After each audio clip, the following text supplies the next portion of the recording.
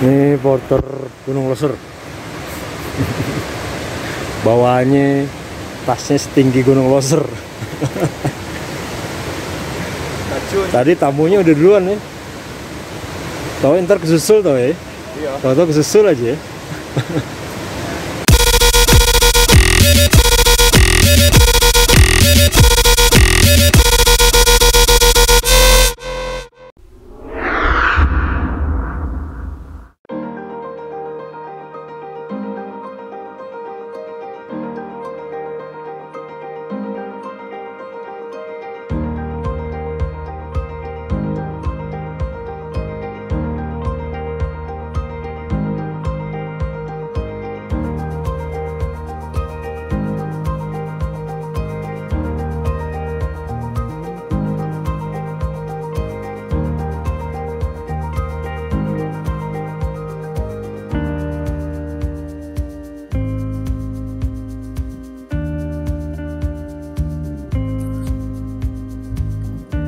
Taman Nasional Gunung Loser atau TNGL merupakan satu dari tiga taman nasional di gugusan Bukit Barisan yang dinobatkan sebagai situs warisan dunia.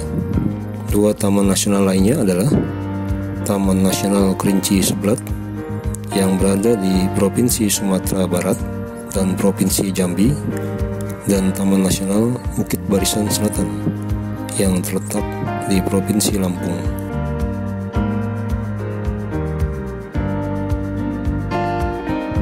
Secara terpadu, kawasan ini dinamakan Tropical Rainforest Heritage of Sumatra sejak 2004.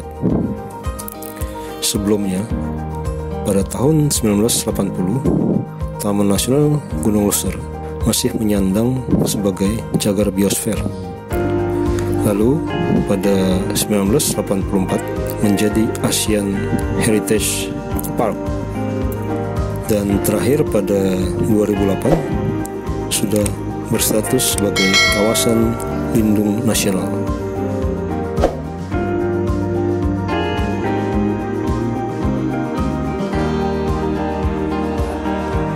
Sesuai statusnya sebagai taman nasional, Nilai penting pada Taman Nasional Gunung Loser terbentang pada alam kawasannya, yaitu sejarah alam hutan hujan tropis Sumatera, lengkap dengan aneka tipe ekosistem dari dataran tinggi hingga lautan, serta keragaman hayati. Situs ini juga menjadi suaka perlindungan bagi tiga mamalia terancam punah harimau Sumatera, orangutan Sumatera, dan gajah Sumatera.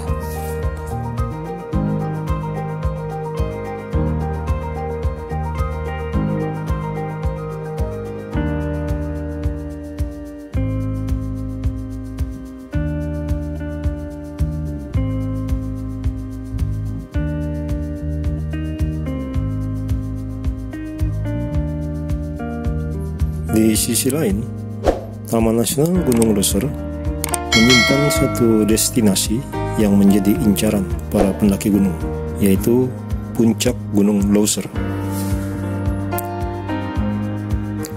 Menariknya, tidak saja puncak Loser yang bertengger kokoh di ujung utara bukit barisan tersebut. Masih ada dua puncak lain yang cukup menarik untuk digapai. Jelang-jelang puncak Loser.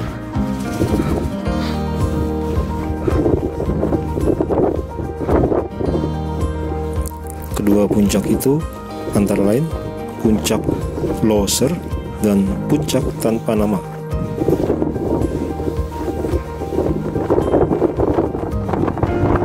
Uniknya, di antara ketiga puncakan itu, justru puncak Gunung Loser lah yang ketiganya paling rendah, yaitu sekitar 3119 mdpl.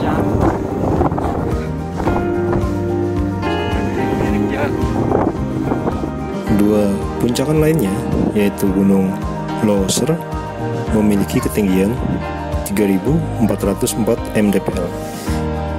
sedangkan puncak tanpa nama merupakan puncak yang tertinggi di kawasan itu, tingginya sekitar 3448 mdpl, yang juga menjadikannya puncak tanpa nama sebagai titik tertinggi kedua di daratan Pulau Sumatera setelah puncak Kerinci di Provinsi Jambi dan Provinsi Sumatera Barat.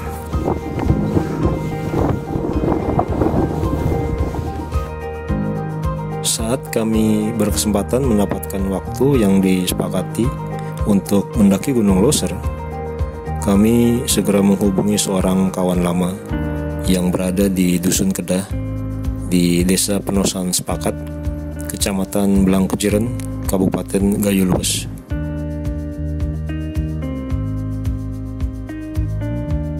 Beliau bernama Rajali Jumali yang saat ini berprofesi sebagai koordinator guide di Taman Nasional Gunung Loser.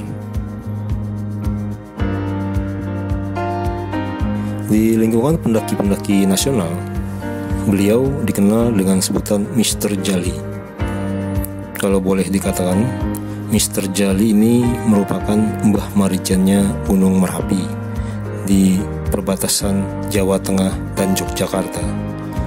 Bedanya, Mr. Jali tidak memiliki sinuwun atau raja yang patut diikuti titahnya seperti Mbah Marijan yaitu Raja Yogyakarta Sri Sultan Hamengkubuwono IX dan Sri Sultan Hamengkubuwono X. Mister Jali merupakan teman lama dari salah satu rombongan kami, yaitu Wira. Perjumpaan Wira dengan Mister Jali terjadi pada tahun 1997. Saat itu, mereka hendak mendaki bersama ke Gunung Loser, termasuk dengan beberapa teman dari Mapala Unila Lampung.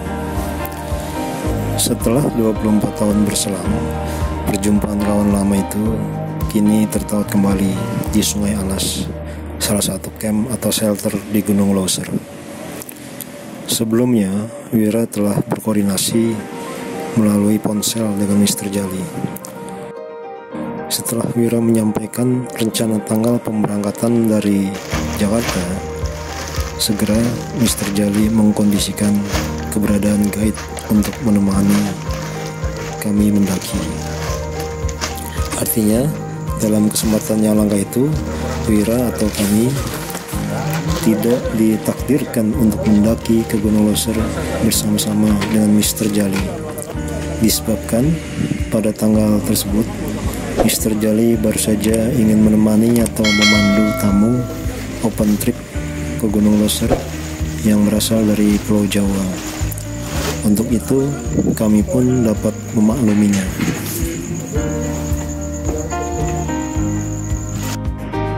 Saat itu, tanggal 6 Maret kami confirm ke Mr. Jali bahwa tanggal 8 Maret malam kami akan start dari Jakarta. Tepatnya dari salah satu kediaman rombongan kami lainnya yang bernama Arsal Zaldi di daerah Joglo, Jakarta Barat.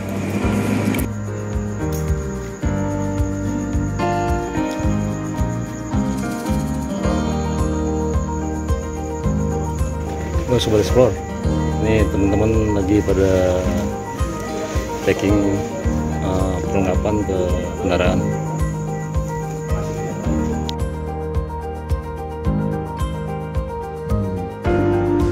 Keesokan harinya, tanggal 7 Maret, Mr. Jali sempat menitipkan pesan melalui istrinya kepada Wira. Mr. Jali berpesan minta tolong dicarikan carrier ukuran 70 liter sebanyak 10 buah dari Jakarta. Carrier itu ditujukan untuk guide-guide di Taman Nasional Gunung Loser. Mengingat carrier yang digunakan oleh guide di sana banyak yang sudah tidak layak untuk digunakan. Tidak safety lagi. Hal itu benar saja ketika kami berpapasan dengan rombongan yang baru akan naik. Saat itu kami sedang turun dari Gunung Loser. ini porter Gunung Loser bawaannya tasnya setinggi Gunung Loser tadi tamunya udah duluan ya tau ntar kesusul tau ya Iya. tau tau kesusul aja ya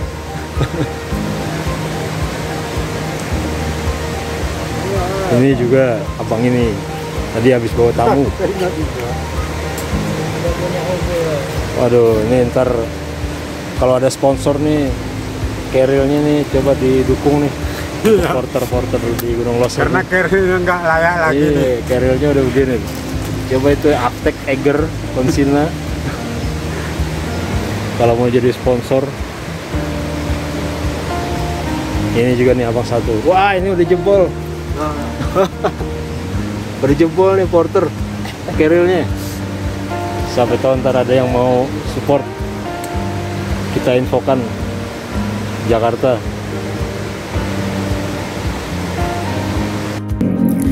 Guide kami bertukar carrier dengan guide rombongan yang akan naik itu.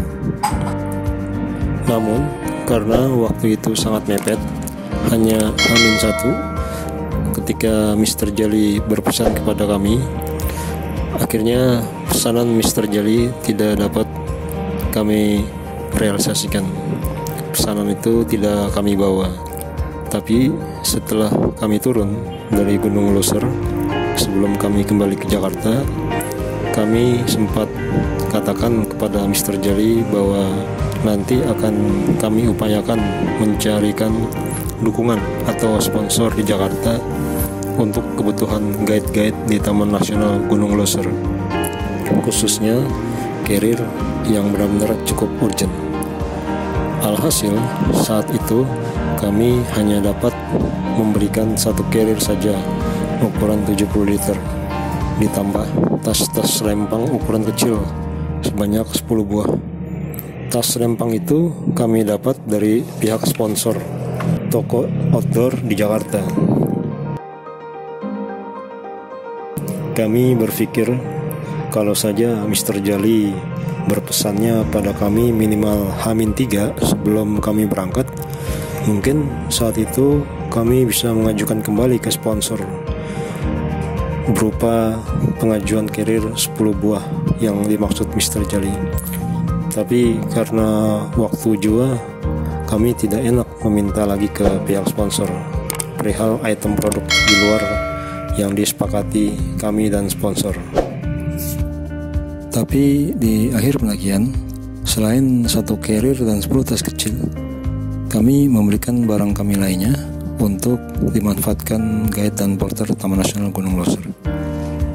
Layaknya pendaki-pendaki lain ketika meninggalkan kenang-kenangan berupa barang-barang pendakian kepada guide dan porter yang menemaninya. Saat itu, kami pun meninggalkan beberapa barang untuk guide dan porter kami berupa headlamp, power bank solar cell, peta topografi Gunung Loser dua lembar yang original, kasur angin dan apa lagi ya lupa rombongan kami berjumlah empat orang rencana awalnya rombongan kami berjumlah delapan orang tapi karena satu dan lain hal beberapa teman kami memutuskan tidak dapat bergabung keempat rombongan kami itu antara lain saya sendiri Gali Ahmad Wira Arsal dan Gatot Efrianto. Namun pada saat melakukan pendakian, kami ditemani oleh satu orang guide yang bernama Rahmadi. Rahmadi adalah orang yang disiapkan Mr. Jali untuk menggantikan Mr. Jali saat menemani kami mendaki. Rahmadi termasuk kemenakan dari Mr. Jali usianya masih sangat muda. Namun fisik dan pengalaman dalam mengambil keputusan saat mendaki bersama kami terbilang cukup baik dan bagus.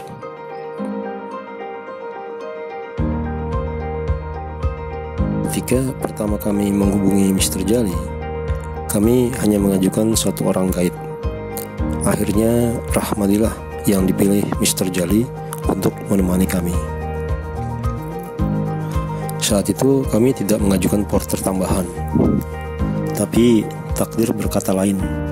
Akhirnya Rahmadi ditemani oleh seorang cucu Mr. Jali yang dipanggil dengan sebutan Win atau Sir untuk ikut bersama kami mendaki Gunung Loser. Namun demikian, Sir bukan seorang porter. Meski awalnya kami duga Sir adalah porter. Akhirnya rombongan kami berjumlah enam orang. Rahmadi merupakan guide muda yang diharapkan Mr. Jali dapat meneruskan misi Mr. Jali dalam menjaga kelestarian alam Gunung Loser sekaligus penerus Mr. Jali sebagai guide. Dengan berbekal pengalaman mendaki selama dua tahun terakhir ini, yaitu sejak 2019 lalu, Rahmadi terbilang cukup bagus fisik dan mentalnya.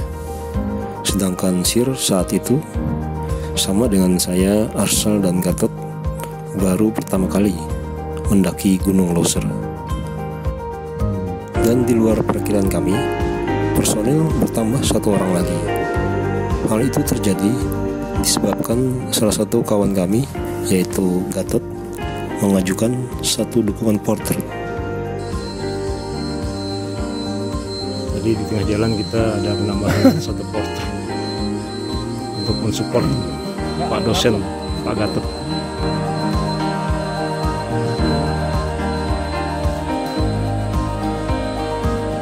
Usulan Gatot itu disampaikan ketika kami baru saja mendaki di hari kedua.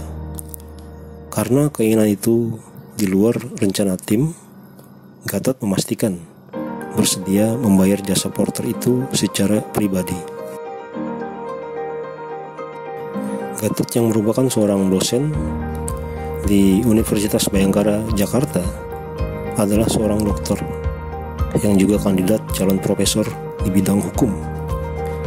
Akhirnya rombongan kami berjumlah total menjadi tujuh orang.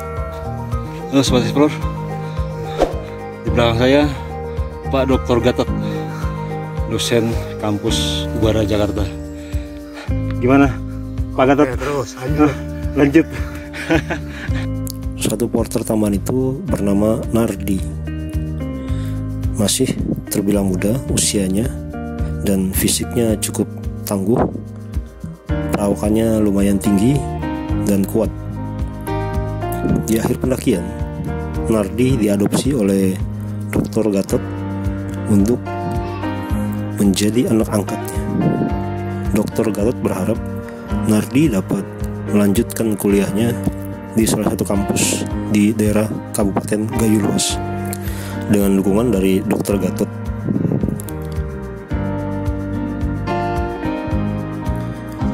Perjalanan Nardi sebagai porter di Gunung Loser baru satu kali menggapai puncak Loser. Ketika menemani kami, itu merupakan pengalaman pendakian yang kedua bagi Nardi.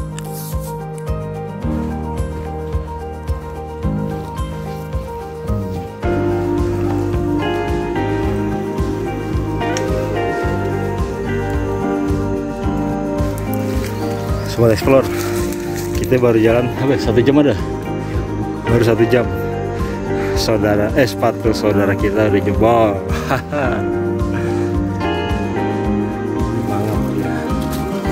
Seru juga nih seru Oh. Ada obatnya bro? Tapi oh ada obatnya. Ada. Lem apa itu? Korea apa ya? Lem, Lem Depok. iPhone.